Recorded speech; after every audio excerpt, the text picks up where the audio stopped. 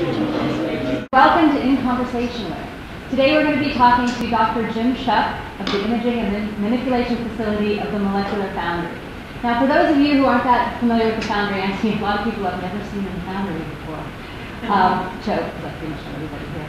Um, the imaging facility is on the ground floor of the Foundry. So if you go walking down that corridor, you'll see a lot of posters that describe Jim's work. Now, when Jim first agreed to do this, I did a little bit of background research on him. And in addition to finding out that he's a karaoke fiend and a trivia hound, I also found his professional webpage. And on his webpage, he has a short paragraph that describes his research interests.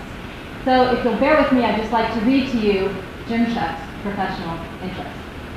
My primary interests are in the field of nanoscale optical imaging spectroscopy. The research objective of this lab is to develop and apply new nanophotonic systems for the investigation of physical, chemical, and biological processes with nanometer, nanometer scale accuracy and sub-picosecond time resolution.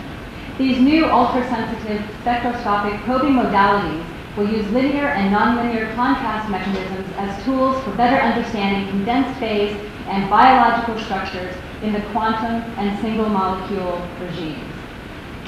Okay. Thank you. All right, so by applause, how many people understood what I just read? So, okay. I didn't ask for listening. okay, well, I am, I am with you guys. When I read this, I didn't really understand a word of it. But I'm hoping by the end of today's conversation, we're all going to have a better idea of what it is that Dr. Schuck does. So ladies and gentlemen, please join me in welcoming Jim Schuck.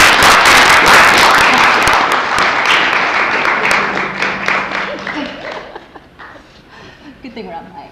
Yeah. okay, so I know that um, talking in front of a live audience can be just a little nerve wracking, as opposed to talking in front of corpses is really easy. Um, Mhm. So what I did was um, I sort of invented a little warm up game that I thought we could do. You didn't tell me about that part. You know, it'll be fun. It's gonna be fun just to get you comfortable in the space. And this is this is in your sweet spot, okay? Trivia and karaoke. So, so here we go. Uh, name a Madonna song from the 80s. um, like a virgin. All right. Who sang Yeah. Little Red Corvette? Prince. Okay, now here's a tough one. Not the revolution.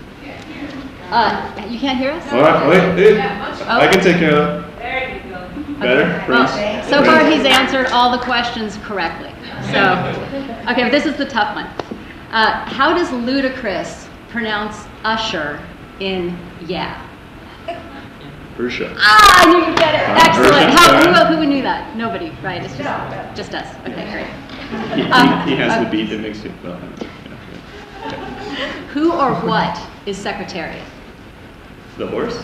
Yeah. Oh, a horse. Okay.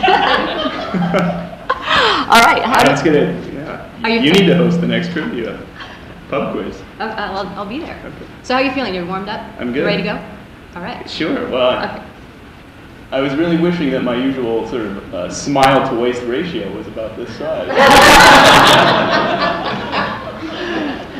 I'll work on it. Okay. More biking. Right? There you go. Yeah. Okay. Now, Jim, where were you born?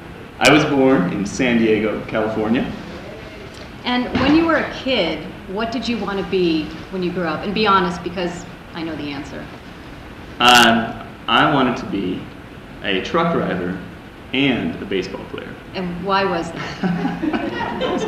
so that I could drive myself to the baseball games. Practical from the beginning. Yeah, sure.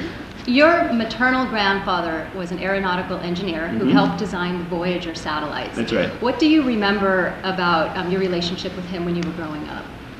Well, he he liked to tell me science stories, which I which I liked a lot. Yeah, he would uh, we'd go and walk around Caltech, and he'd tell me about Feynman. Um, yeah, and the satellites are, are in the Smithsonian, though he would never go and show them to us. I, I'm told because he was, he, he was too modest, which was probably true. Um, he also liked to tell a lot of stories about how he and his uh, fellow engineers and scientists were constantly putting ones over on, uh, on the administrators. and, oh no. And the bureaucrats. Oh, yeah. so Jerry should sound, be worried. Jerry's worried. Remember, this is why it's hard to put one over on Miquel, right? scientist and administrator. By the way, would you like some coffee? Oh, you I, I, okay. I already I'll, help myself. Okay. Can I pour you some? Oh, I got it. Thank okay, you. Uh, where did you go to high school? Uh, I went to high school and at a high school called uh, Clovis West High School in Fresno, California. Oh. Well, you once said that you that you spent your life following college around. What did you mean by that?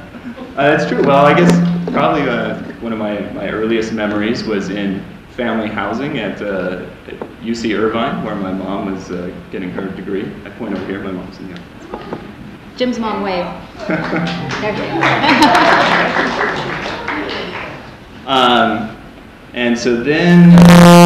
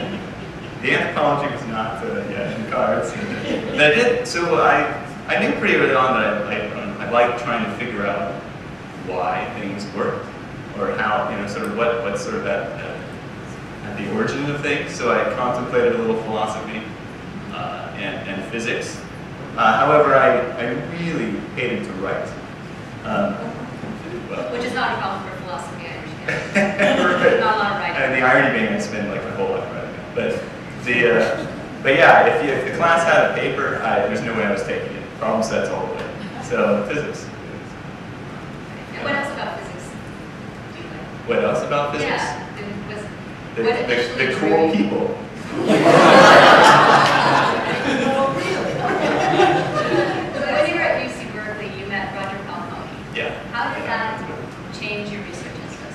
Well, that was, yeah, so Roger sort of gave me my, my science break uh, he let you know, me, sort of snot-nosed undergrad, into his lab to play with things and mostly break things, and actually ended up spending most of my time up here at the uh, ALS.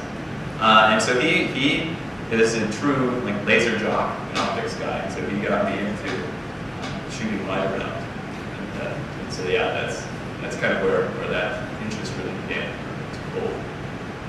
And then you ended up doing graduate work at Yale with Bob Grober. Yeah. What piece of life advice did Bob give you? Well, Bob gave me yeah, Bob gave me a lot of advice, most of which I, uh, I can't repeat here. Uh, but uh, uh, he also told me though that he said he said uh, make, basically take advantage of your postdoc years because they're the best years of your life. It's all about being a postdoc. Was he right?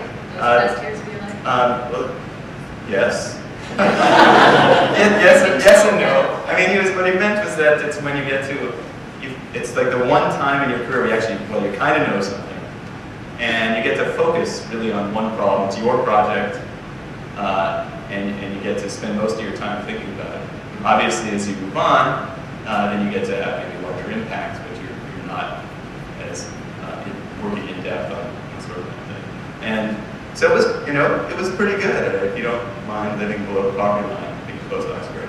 And you did go on to do your postdoc at Stanford. Yes. How did that come about? Like this. I shut that.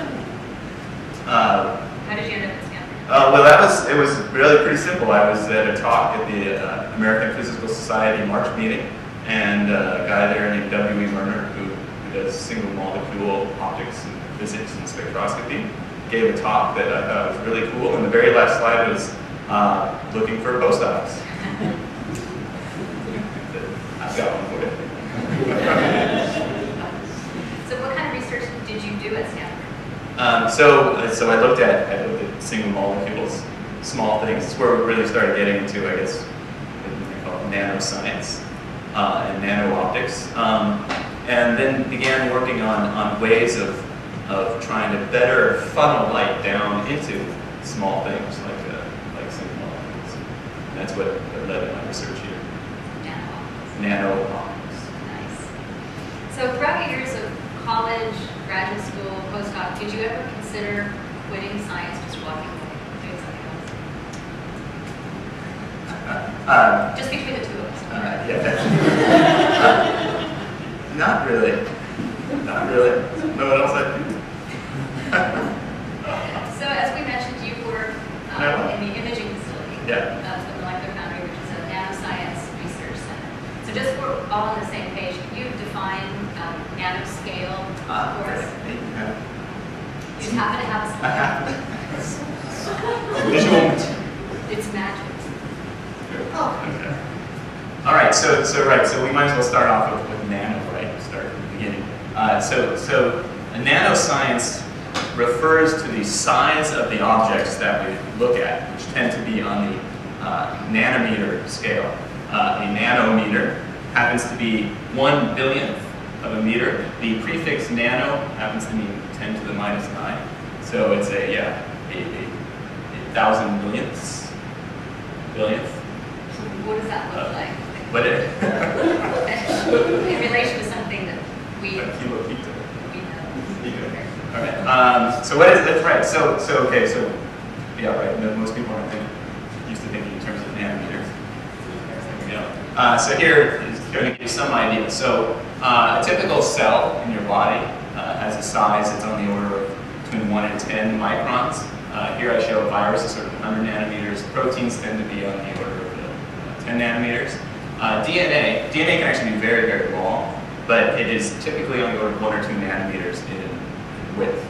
Uh, so, so a piece of DNA is sort of a nanometer. And then, of course, you have atoms that are even smaller than nanometers, which is a whole other realm of science. But maybe to give a better idea, uh, something that most, kind of small thing that most people used to think about are, are human hair. So a human hair tends to have a width of about uh, 100 microns.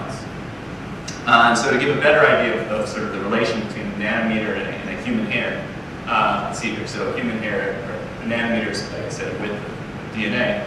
Uh, if, if a human hair, imagine human hair was the size of a football field, then uh, a nanometer, or your, your width of your DNA, would be like the size of a sesame seed sitting here on this field uh, after a hungry lineman's meal or something. So, that's a, it's, yeah, it's a lot smaller.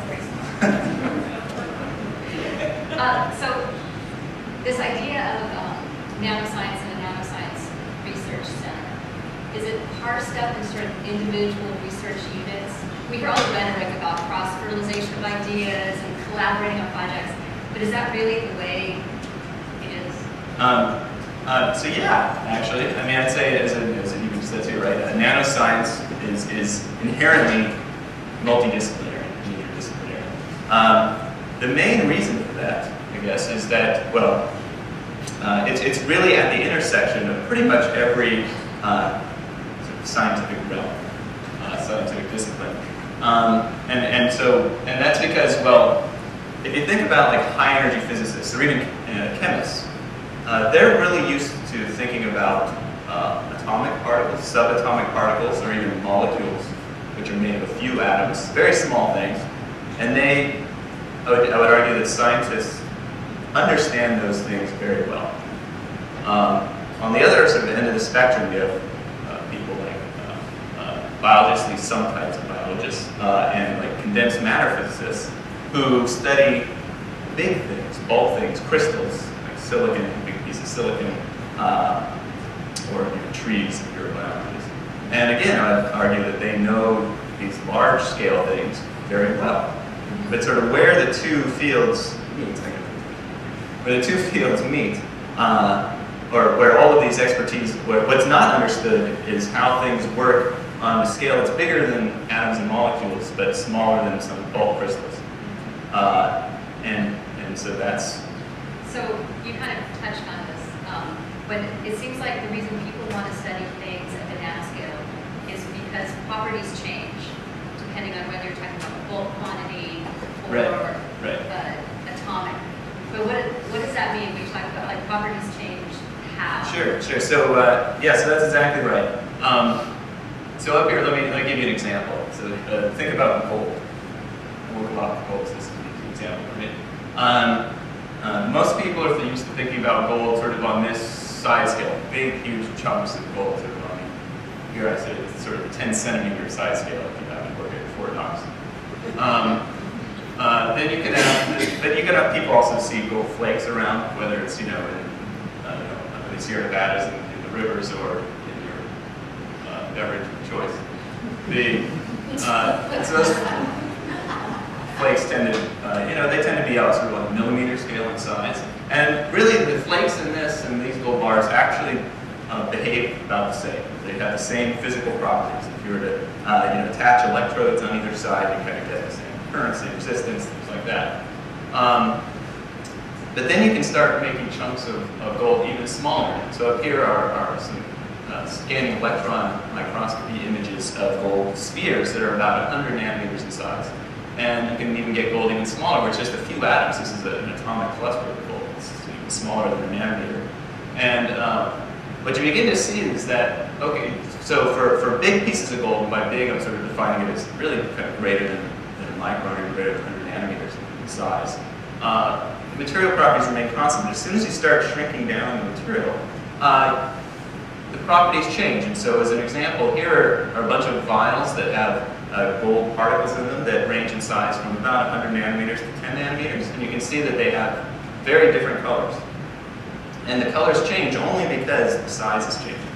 Uh, and you can also manipulate the colors a little bit by changing the, the shape of the particles. And so, uh, let's see what I have on the slide. So right, so this is, the reason this is exciting then is because now I have a knob to tune material properties. Uh, to, make, to give you properties that don't exist in, in, in nature or, or are hard to find in nature, simply by adjusting something like, like the size or the shape of the material. And so then this can give you, uh, you know, the idea is that then you would find properties that can help you solve some of the, the, the world's bigger problems like energy shortages or, or uh, medicine related things. Or, or, or, that's right, but you have to be careful because Uh, you can also make properties that you don't understand and that are, are bad. I mean, that, so you have to, have to pay attention. It could be used.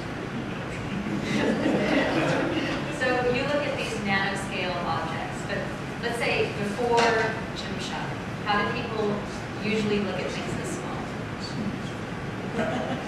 Um, let's see here. So, wrong way. All right, so that's right. Excellent question. Uh, and so there, there are really two ways that people used to study small things, right? I mean, again, nanometer is very tiny, sort of getting close to atomic scale. Um, there, there, are two classes of, of imaging or microscopy. First uh, is what people call scanning probe microscopy. The second is uh, electron microscopies. Uh, let me talk first about scanning probe microscopy. Um, so, so a good example of a scanning probe microscopy. The idea behind scanning probe microscopy is you take some, a nice sharp tip or probe and you bring it very close to the surface you want to study and kind of drag it around. So a, a good example is, is, is an atomic force uh, uh, micro, an atomic force microscope or an AFM.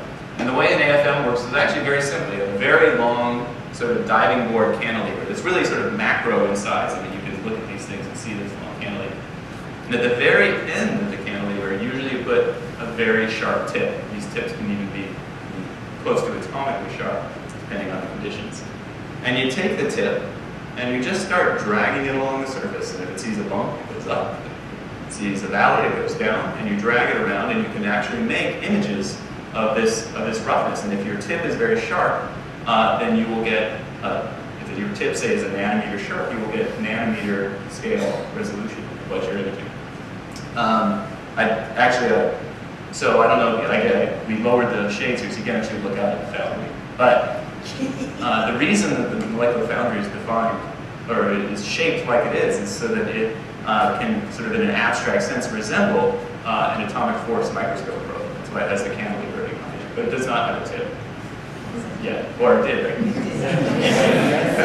Unless it's April Fool's. Who saw the tip that he's, that on the, yeah. He was just finishing what the architects That's right. Some people. put. It was all neat and small. um, so that's one way. So scanning probe microscopies. The other way are, are electron microscopies. And basically, in, a, in, an electron microscope, people are sort of familiar with these. They, you shoot electrons at something, and you end up getting pictures like this. Uh, uh, so again, both the reason people use these techniques to study small things is that uh, they gave you very high spatial resolution. You can, if again, if done correctly, you can get down to atomic spatial resolution. So here is something that's called a quantum dot uh, that's imaged in a, a, transmission electron microscope, and you can actually see the individual atoms in that image. But when, you know, I hear very sharp tip and electrons, and it seems like these things can be invasive or destructive. I mean, could you uh, destroy a sample with a very sharp tip? Yes, you can. Actually, that's right. So, so, so that's that's sort of the problem, right? Uh, uh, these two, two techniques can be very invasive or disruptive. Uh, again, if you have a sharp tip going down and poking at something, I don't know, let's say you want to look at cells, chances are it just pushes right through. Not good. You start dragging it and tears holes. Or an electron microscope where you have these, these charged particles that have mass, and you're hurling them at the surface with very high energies, know, tens or hundreds of thousands of, uh, of electron volts. Uh, and so this can certainly do damage to the surface. Plus there are other problems, like in an electron microscope you have to have a uh, conductive uh, substrate, so you have to coat your things with metal. So this picture, this flea or whatever here, has been coated with metal so that you can image it. Uh, and as I think I even picked this image here, this is an electron beam going in and doing some imaging, but you can see it also is creating a huge trough in the surface as it drives along. So yeah, it certainly. So um, you're an optics guy, and it seems like no discussion of optics we can think about talking about the diffraction. So I think we should probably get that over with now. And the, the diffraction. You can okay, define sure. people uh, what the diffraction limit is, why it's a problem. Yeah, yeah. All right, I, I know I have a slide here, so over the shoulder.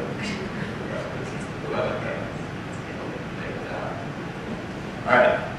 So, uh, so light uh, is a wave, or can be thought of as a wave. Actually, there are two equally uh, correct ways of thinking about light, either as a particle or a wave, but going to go with wave for this moment. Particles. Uh, the, the idea, there's this, this law in physics that says if you have some, a wave, you can't concentrate or focus the wave down to a spot that's smaller than approximately its wavelength, um, which is really what this equation says. Um, and so, uh, so that means you can't really resolve things. By resolve, uh, yeah, I mean sort of image things with their actual sort of form. Um, that are, you can't resolve things that are smaller than approximately the wavelength of the, of the light that you're using to, to try to image it. Uh, so this big white spot that I have on this slide here, uh, I mean to sort of represent a diffraction limited spot. This is sort of as tight as you can focus light down. And the issue is that, you know, work in the foundry, uh, and in the foundry they make nano things, and that's, that's what I'm interested in studying. And the problem is a, a, typical nano thing like a quantum dot is the size of about that black dot right there. Um, and so you can see here that, right, there's a big problem. You have a big mismatch here between the size of your light that you're focusing down. And it and seems like you get a lot of noise. If you're looking for right, a dot that small, right. how do you know what you're looking at? Um, so, so exactly. So the problem is that, so if your light spot is this big and you're trying to interrogate this little guy here, uh, so the little guy might, might give you some signal back. You might shoot your light at the, this, this thing and it might reflect some back or, or absorb and fluoresce or something. But the problem is that usually your particle isn't sitting in, in a vacuum in the middle of nothing. It's sitting on a surface. And so there's a lot of other atoms and things sitting around here that can also reflect the light back or give you uh, signal that isn't what you want. It's basically noise. And so it becomes very difficult to study nano things uh, with light uh, for, for, for, that reason. So, um, you once said photons are fantastic. and uh, the photons are also light, right? So light can be a waveform. Uh, and photons also have no mass and no charge.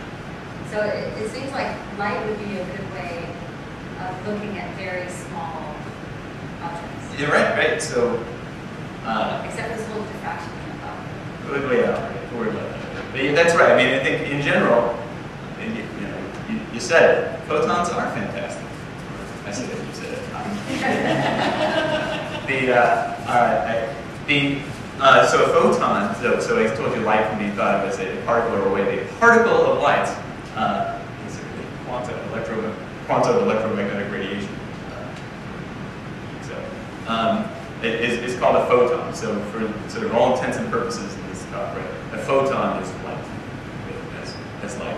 And they are fantastic because uh, relative to the other nano imaging techniques that are being used for a while, they're still very much used, um, photons are relatively non-invasive and non-destructive. Uh, in fact, I would say, so when I talk about light, I should say, kind of the kind of light I am interested in. It's typically visible light, so the light we actually see. Uh, you know, so, uh, so it's sort of very tactile to me, I guess. But it's thing that kept me interested. Um, and so, so visible light tends to be uh, relatively low in energy. Um, and so, and it, and it can and it can go through a lot of things without doing much damage. So it is non-invasive and non-destructive. And you want to use photons as probes. But you still have to deal with the diffraction of the problem. I mean, how has that been That's right.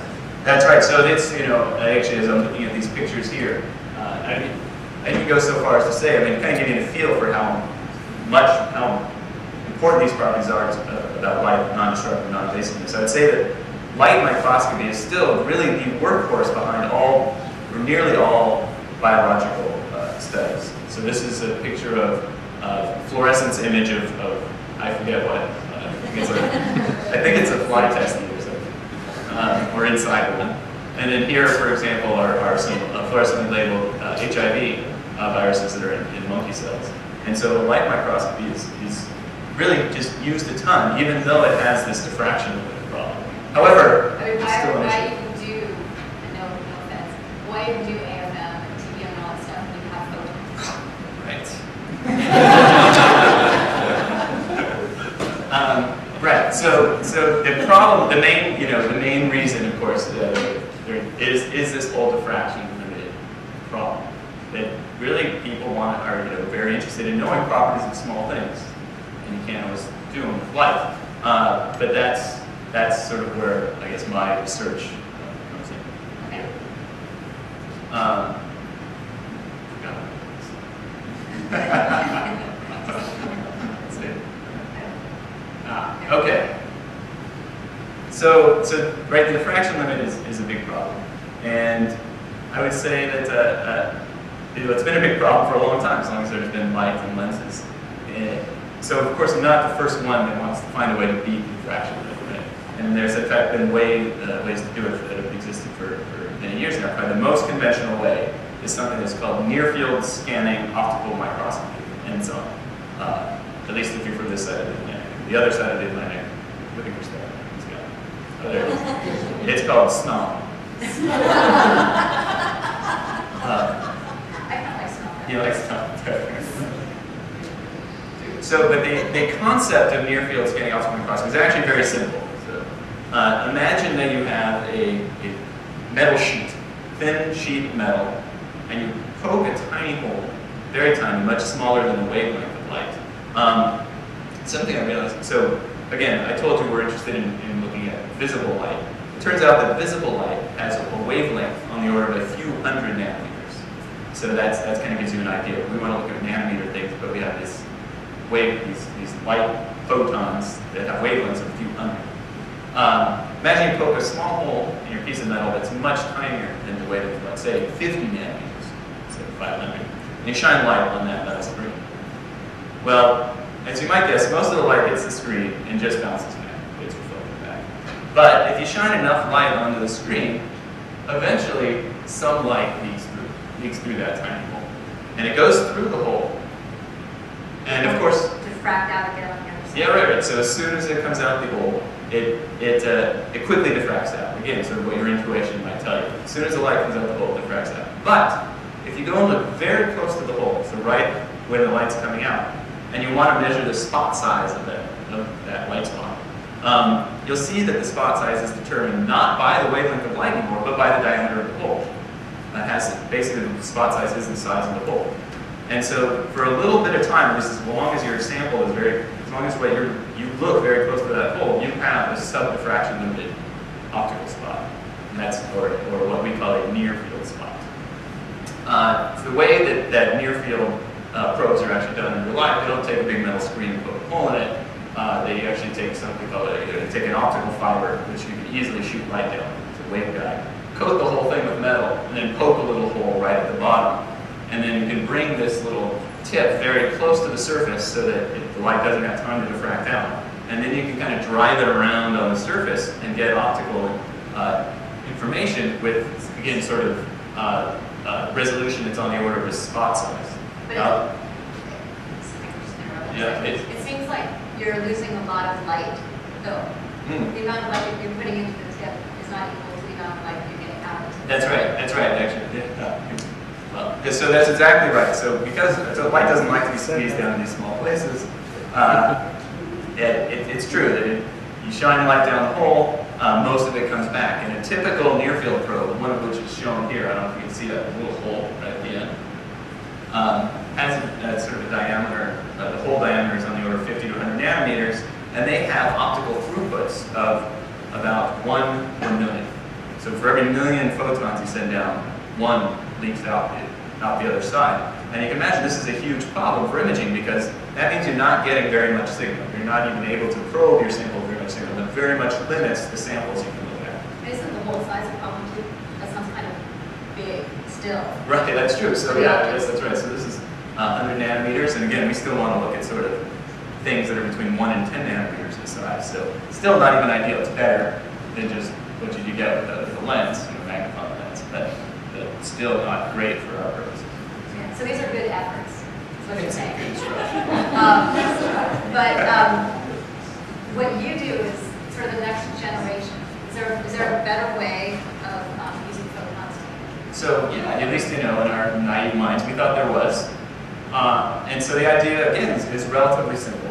Uh, we had, the, the question we asked is can you make an antenna for light? And so the reason we asked that question is, is following. Uh, the. The, so most people are familiar with the idea of antennas. This is a uh, sort of a typical radio wave antenna that's used to sit on top of people's houses. I guess everyone has a cable now. Uh, and here's sort of another radio antenna that sits on your car. Um, the idea, the idea is that, that radio, radio waves are actually also light. They're just much lower in energy, and they have much longer wavelengths. Wave, wavelengths are typically on the order of a meter uh, to, to even a kilometer. And so, but the nice thing about these antennas that are sort of sticking out everywhere is that if you shine a radio wave anywhere near that antenna, it very efficiently grabs the radio wave. Uh, and then it takes all the information in the radio wave and concentrates it to a very small area. So in this case, you probably can't see it. There's a little black box right here on the antenna. It's, it's a thing that's called a feed gap. Uh, and all of the radio wave information ends up in that feed gap. Or same with your car antenna. And so once it gets the energy to a small place, and then ultimately it, it takes the information and puts it in an even smaller place, right? It, it goes into the electronics that are inside your TV or inside your radio. So here's just a tiny, uh, this is an FM uh, uh, receiver, and you can see that that's, that's the head of a matchstick right there. So it's taking these meter-sized radio waves, uh, electromagnetic waves, light, if you will, but it has a wavelength of a meter, and concentrating it down to these sort of these length scales know, as we like to say, are deeply sub-wavelength, sort of on the order of microns. And uh, so I was going to say, so the question we ask, of course, is, well, light, invisible light is also electromagnetic wave, just like a radio wave, uh, just has smaller wavelengths. So can we, in effect, scale down the antenna so that it will just work for light? And, and can you? And, and, the, the short answer is yes, uh, we can. And, uh, and so this is what one type of antenna happens to look like. This is, this is made here in the foundry uh, by Stefano and his group. Um, and so this particular antenna, there are lots of different antenna designs. I mean, you can make one that look like this, people do. Uh, this one is, is, is called a bow tie antenna. It tends to come out of microwave engineering. Uh, I think reason it has that name is relatively obvious. You have two triangles facing each other, tip to tip. There's a small little gap in the middle. Uh, and these triangles now are, are small. They're gold and they're small. Uh, they tend to be usually 100 nanometers or less in size. And so this is, so, so the answer to your question is yes, you can make optical antennas, and this is what we've started to do. Uh, there is one caveat to throw on there, but um, the only way you really can make these work, though, is you have to take into account how the gold properties change when they get down to the nanoscale. And so I think all of the like real physics that made this a challenge uh, sort of hidden here in this statement. But uh, the bottom line is, yeah, you can make antennas that now work. Uh, and is there some reason why they weren't making these antennas, say, 10 years ago? Yeah, so, so the answer again is sort of hidden in this, in this statement here. Is that uh, they hadn't really realized that gold, uh, they, they tried to design antennas for light. So again, the idea, also we weren't the first ones to have the idea of making an antenna for light. It's just that uh, the gold prop has properties that change when you make it smaller. And you, if you don't take those into account, if you just pretend like the gold acts like bulk gold, like a you know, bar of gold, you're going to design your antenna to be the wrong size and wrong shape.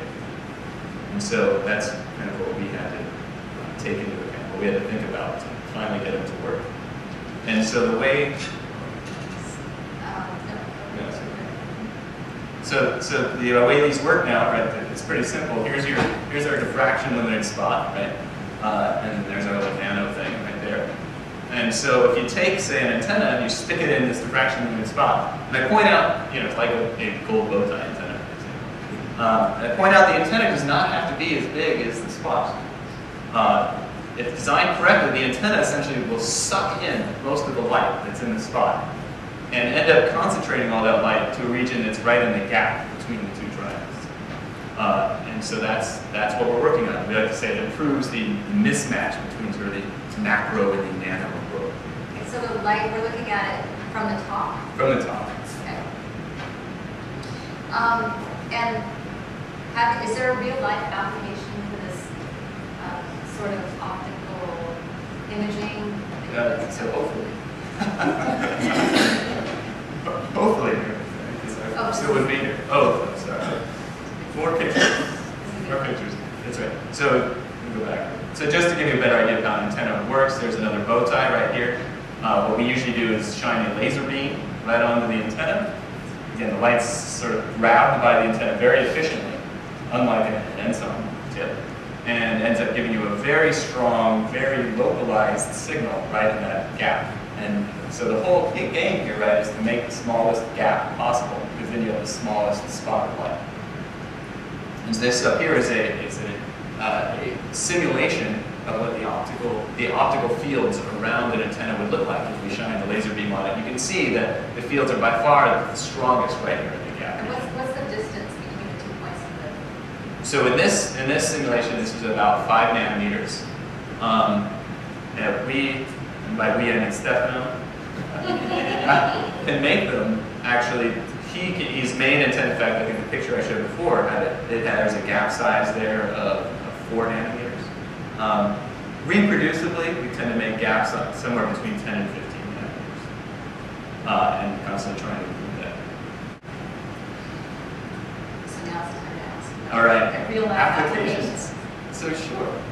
Um, so so uh, to kind of lead into applications, I should probably tell you that we want to take these light spots, and just like with the NSOM, right, the near field scanning optical microscope, we want to make a probe that has a very tiny light spot that then we can drive around. And so uh, I kind of you know, giving you an idea of how this works. We, we take something like a typical AFM tip.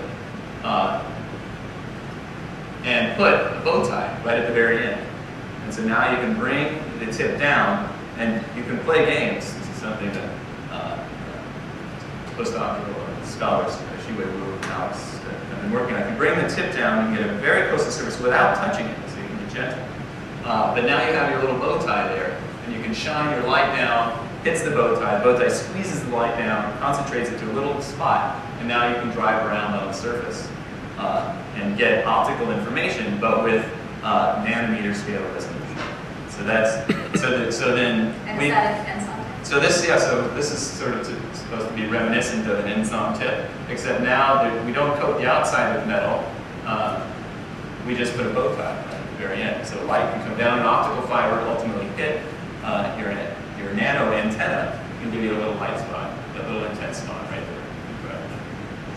Uh, all right, so so then we want to yeah take these microscopes and, and, and do something with them. Uh, and so right uh, work here at DOE.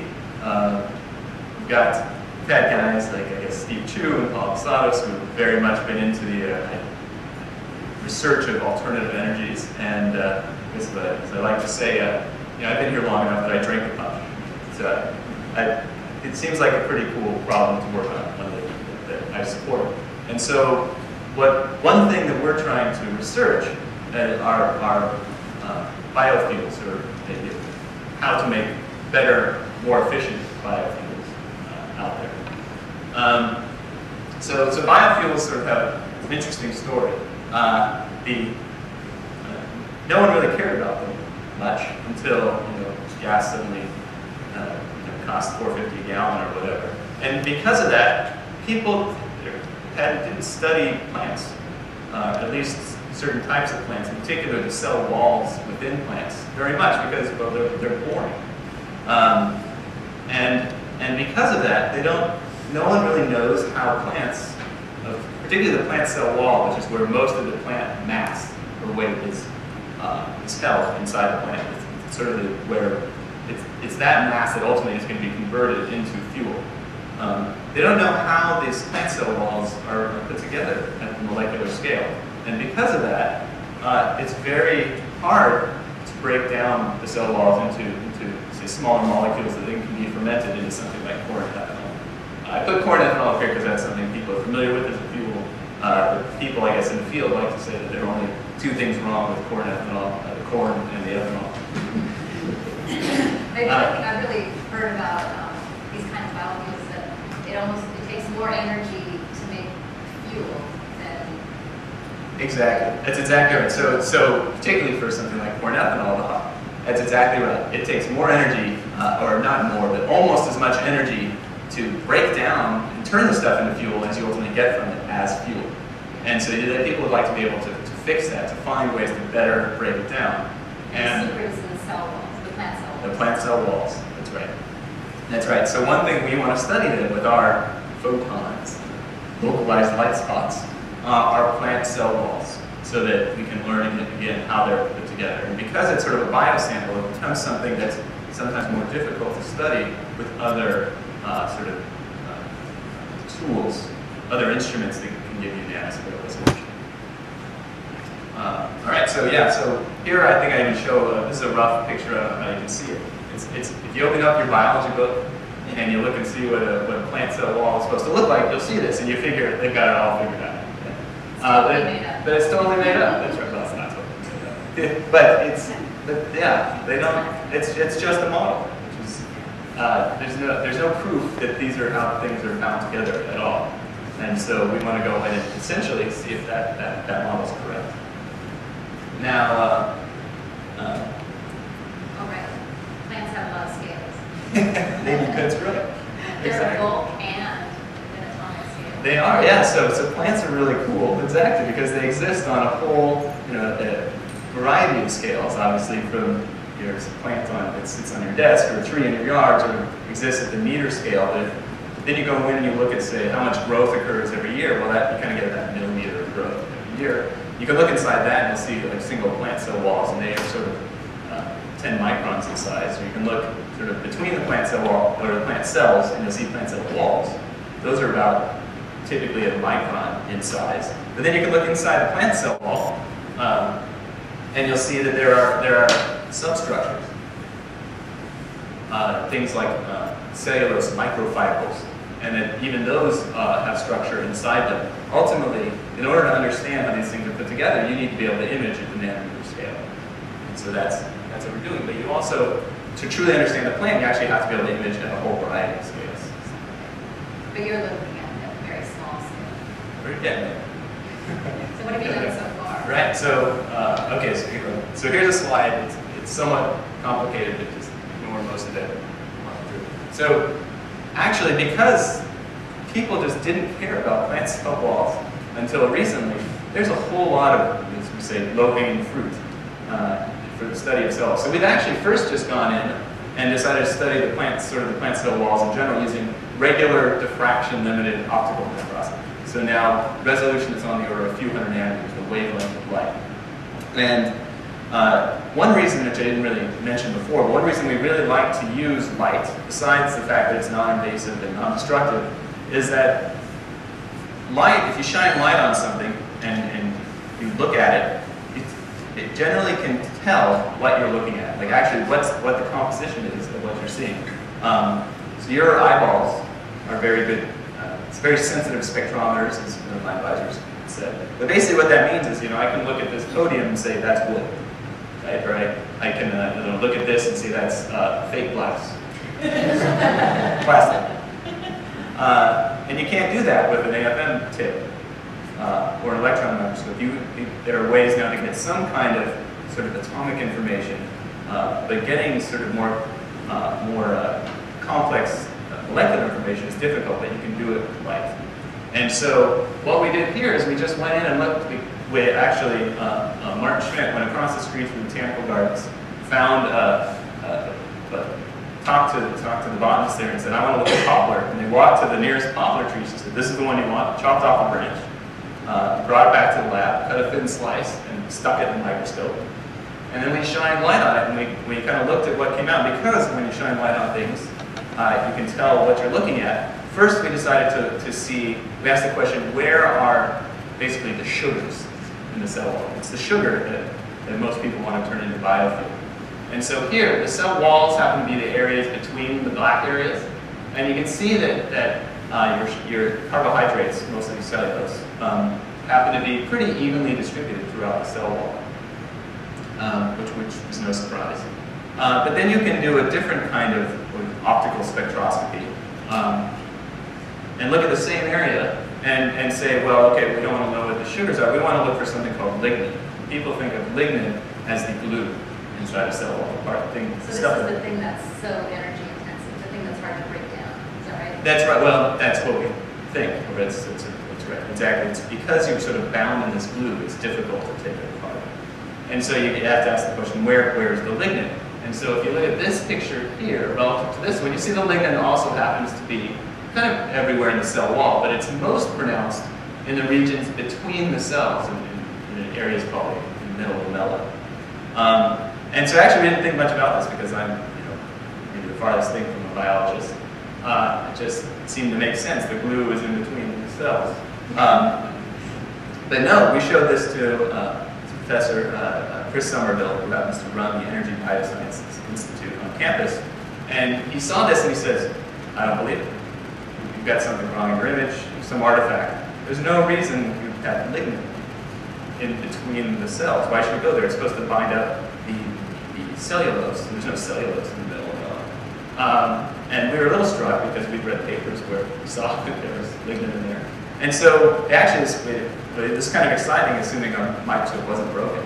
And we went around and started asking questions. And it turns out that actually there's a whole other group of plant biologists that do know that, that the lignin is located in the center. Um, and so we had to sort of tell Chris about this whole set of literature. But uh, the reason I tell that story is it kind of points out that if even, even uh, your, your, own, your plant biologists aren't even talking to each other, uh, it kind of gives you, tells you why you need to have a place like the Foundry, uh, where you really do need people with all sorts of expertise to talk to one another uh, so that you can begin to address some of these larger scale issues. Yeah, and people need to know what's out there and know what toolboxes uh, people have so that you can finally go in and, and investigate. So that's. But these images, you're not using the bow tie antenna, mm. right? Have you had a chance to uh, look at cell walls with bow tie? You know, no. So, so we haven't yet. That's really kind of our next next step. That's probably where, where I'll finish here with the promise of looking at plant cell walls with antennas. Um, so here again are some of the more optical images we can get on plant cell walls, but like, like you said, these are actually relatively low resolution, these relatively kind of small nanometer sized things.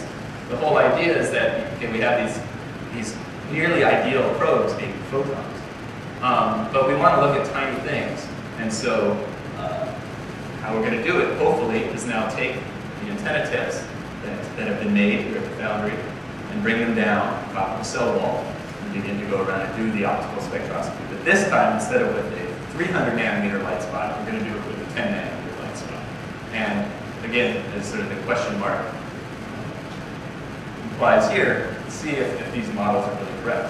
And if not, uh, how, how to fix them so that they can then be broken down can actually have much more efficient uh, alternative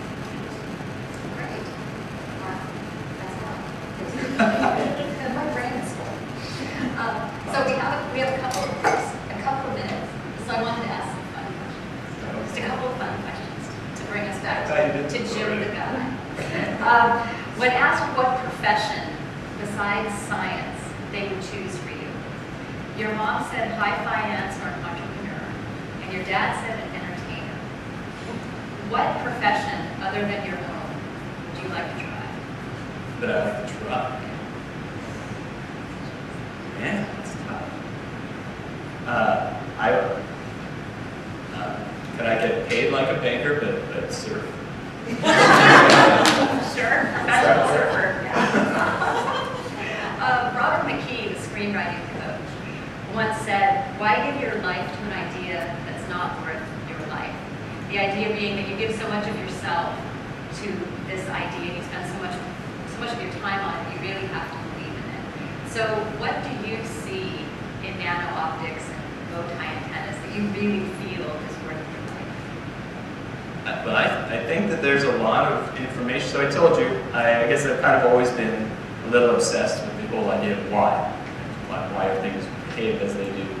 Uh, and so I think there's a lot of information. I feel there's a lot of uh, stuff that needs to be learned that can't be addressed any other way than, than with some of these techniques, well, one that we're working on. And I think there, there are things that certainly can't be looked at at the same time. In essence, we kind of need everything. All, all of these techniques are complementary to one another, but this is one that I like. and, and, I, and I feel like there's a lot of promise. in it.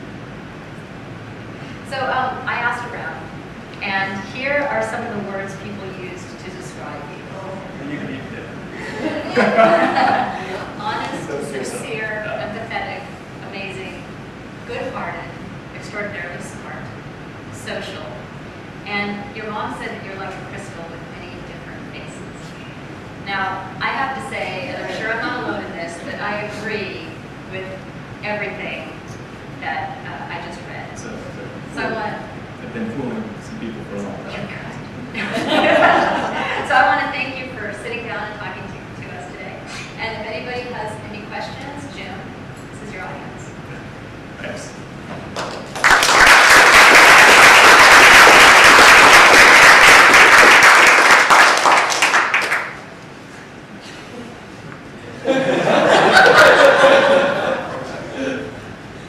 Melanie.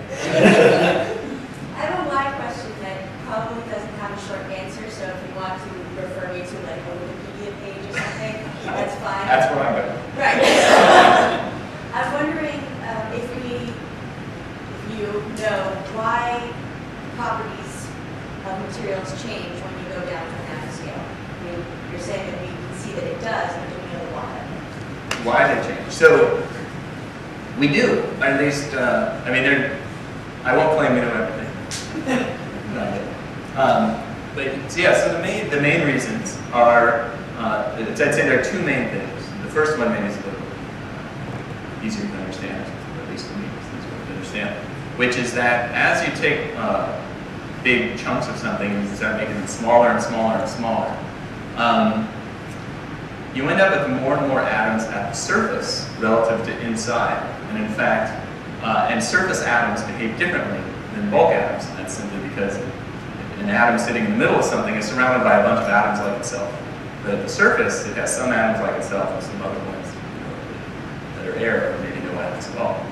Uh, if you look at like that, that atomic cluster that I found on the, map, it was maybe 30 some gold atoms, and you counted how many atoms were on the surface, which is how many were, were sort of bulk atoms, you see that more than half of the atoms are actually at the surface. So that's, that's, that's one main reason. Another reason is, is that uh, quantum effects begin to, to matter at these size scales. And, uh, we'll touch on that. Wiki- Yeah, quantum quantum, quantum effects, wavelengths of electrons.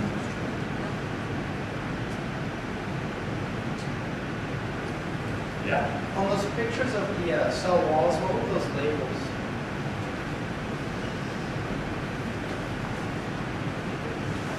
Let's see. Uh, If you go back to the point. Right Here? there, yeah. uh, so like the CML Right. and the CC. Uh, um, I, I had to look that up too on Wikipedia. Uh, uh, so CML stands for complex middle lamella. CC stands for cell corner. And then S2 is the, so as I said, the cell wall has substructure. And so there is a, a S1, the first layer of the cell wall, and S2, the second layer of the cell wall, and an S3, the third layer of the cell wall. Uh, uh, and actually, we don't, so S2 is the thickest one, which is why it's easy to see here. But we can also see, uh, yeah, S2 is the thickest one. S1 is about 100 nanometers in size, and if we play some cool tricks with polarization, we can actually S1 as well. Resolve it. Mhm. Um, in nano optics in general, why did you use visible light instead of something like X-rays that has a, a finer wavelength? Yeah, it's an excellent question. So, uh, I think on a slide I didn't really talk about it, but I had a whole map of the electromagnetic uh, spectrum. And so, and visible light is really just right, a narrow slice in the electromagnetic spectrum. Um, it has so so visible light tend, visible light photons tend to have energies that are uh, on the order of what, uh, sort of one to two uh, electron volts. Uh, on the other hand, you have things that are very low in energy, like microwaves. But you also have things that are very high in energy, like you mentioned, X-rays, gamma rays, or even you know, uh, ultraviolet. Um, and the main reason that, that we like visible um, is that sort of uh, nature was designed to, well, so, so actually the reason our eyes see visible is, is because the visible energies correspond directly to electronic and vibrational uh, transitions in matter. Um, but what that really means is if you shine visible light on something, you can tend, you know what you're looking at. Um, X-rays have very much shorter wavelengths. So that's another way to beat the diffraction. Well, you're not beating the diffraction, but you're just able to focus X-rays to much smaller spots. The problem is that they have energies that are sort of in the uh, thousand electron volts, so thousand times more energetic. You can imagine, again, same as with say, kind of the, the electrons, when you hit uh, your sample with something that energetic, it can do damage.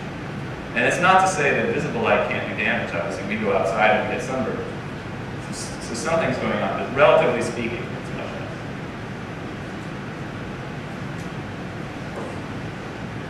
Well, I want to thank everybody for joining us today for this first ever in conversation with, and in particular, I would like everyone to thank